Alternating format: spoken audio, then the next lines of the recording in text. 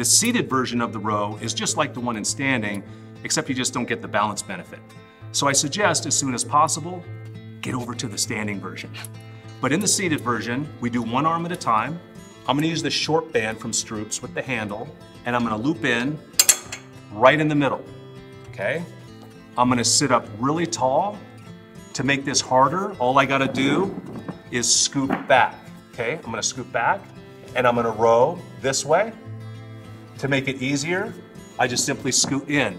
But the common denominator is this.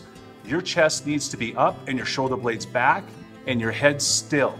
What that does is it recruits all those deep muscles in your spine, protects your neck and your shoulder. But keep your elbow out to the side this way. Don't just pull in here. To make it harder still, lift your elbow up and then pull straight back. The hard part with this is shrugging. Don't shrug. Keep that shoulder blade down and pull straight back. See how the hand stays out to the side? Rock on.